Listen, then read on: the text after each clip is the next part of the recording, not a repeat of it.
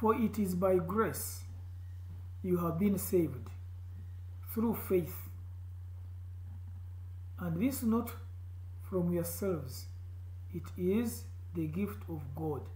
Why does God give us gifts? He gives us the gift of faith so that we can see Him, hear Him, understand Him, and accept Him. And uh, our salvation does not come by way of our works. Because if it was based on works, it means that those who work better, they would be rewarded better, or they would be more saved than others. But he says, no, none of our works can save us, so, so that no one can boast, which would have put us in a categories of the most saved, the more saved, and the less saved. But he says it is God's grace that comes upon every human being. So you can read Ephesians chapter 2, verse 8 to 9. The spiritual Israel, which is the church and its ethical living.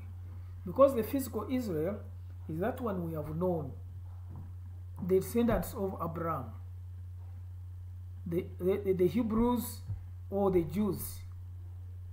All those names apply. This case we are talking about the spiritual Israel, the people who have been chosen out of the human race to live an ethical life. So he says, ethical living is possible within a community called the church. The spiritual Israel is known as a church, which was founded by Jesus Christ on his blood. And it has ethical values attached to this community. Followers of Jesus shared all their possessions. Many thinkers have condemned this kind of life as being socialism.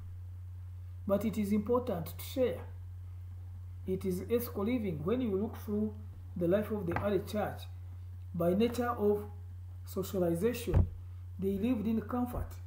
They said there is no one that lacked anything because whatever one had was shared among them, which means it was a responsibility for each member to make sure that every one of them was living in comfort. And again, we refer that to this you were called because Christ suffered for you. He gave himself for, for us, leaving you as an example that you should follow in his footsteps. If Jesus cared for the poor, if Jesus gave himself for the sake of us experiencing good life, why not you who has become a member of the church do the same? Do you find it hurting you if you extend a hand of help to somebody who is lacking? Do you find it hurting for you to give a piece of advice to somebody who is getting lost? Take an example. If you see somebody losing his way and takes a wrong way, is it hurting for you to advise somebody and say, if you are going to Kampala, take from Mukono, go on your left? Or you say, ah, it is your own responsibility, you go on. So you will find that we have been called in order to extend services to others, love them. Teachings of the apostles on the ethics. An example, we talk about Paul. He says we get freedom from sin by grace, not works, as we had seen earlier. But this comes after becoming a Christian, that our lives have no have to normally do good works. Now, when you become a Christian, you begin getting enlightened. You begin seeing, as we talked about worldview, you begin seeing things differently. How you, you, you look at your neighbor when you are a Christian might be different from the way how you used to look at that neighbor. Because in, Christ, in Christian living, there is no room for hatred, enmity, and whatever. Yes, we know we wrong one another, but one of the elements of bridging up is repentance and forgiveness. When a neighbor, human, humanly, will, will make you angry, will make you disappointed, what one of the things you can do is to forgive, repent, and be forgiven. And then the community continues. So he says we get freedom from sin by God's grace that he has given us. He is the one who forgives and not works as we had said. After becoming Christians, our lives have to normally do good works. Now, a Christian must do good things.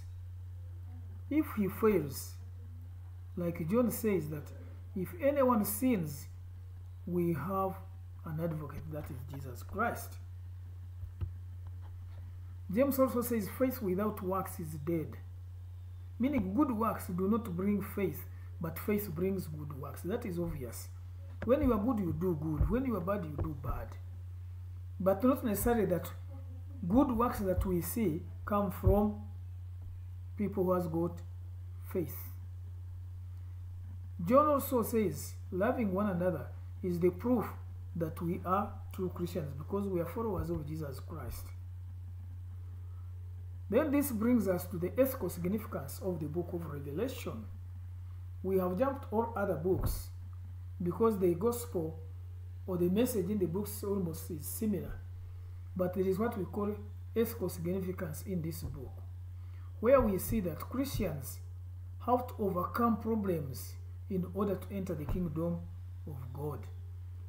For when you are going to enter another country, or you want to enter another country, there are problems. You need a passport, you need a visa.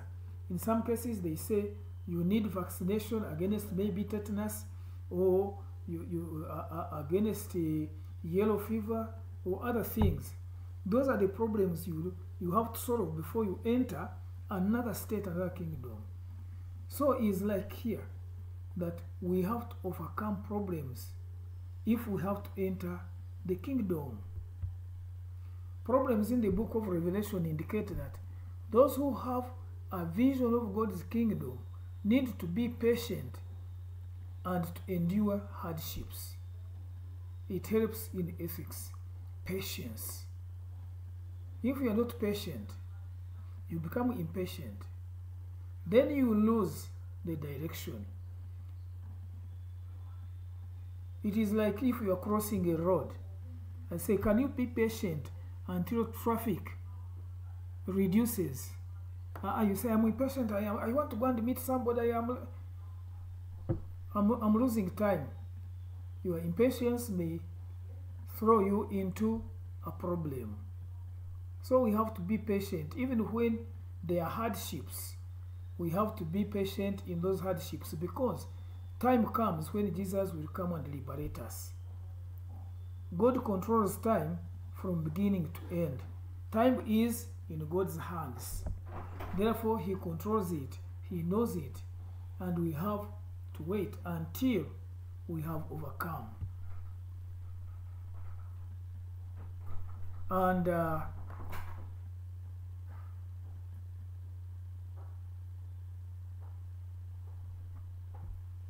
John says, loving one another is the proof that we are true Christians. So, in conclusion, we say Christ came to give us freedom from the bondage of sin. That we have to choose freely. He came to, to, to give us freedom from the bondage of sin, but we still have to choose it freely. You either choose to be free or you choose to remain.